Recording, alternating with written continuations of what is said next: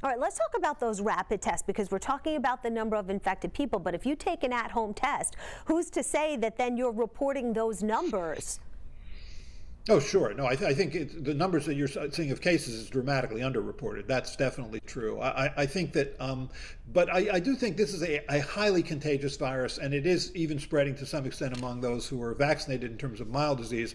But the, that the most important number, I think, is not the case number. I think the most important number is hospitalizations, ICU admissions, and deaths. That's what you really are trying to prevent. You basically what you're trying to do with every vaccine is is try and decrease the burden on the healthcare system so you can take care of people. Mm. I mean, what's happening now in many hospitals is that because they're overwhelmed, not just in terms of patients that are coming in, but in terms of numbers of staff who are infected. This is certainly true in our hospital. Um, you know, we're on the verge of being overwhelmed by, by these viruses. And, and the thing that's most frustrating for me, frankly, is that when we look at children who come into our hospital or come into the intensive care unit, they all, for the most part, have the same characteristic. They're not vaccinated, nor are their parents, nor are their siblings. And that's what's most frustrating. I mean, this was hard enough last year when we didn't have a vaccine. Now we have a vaccine that can prevent this, use it. If your child's over five, get a vaccine.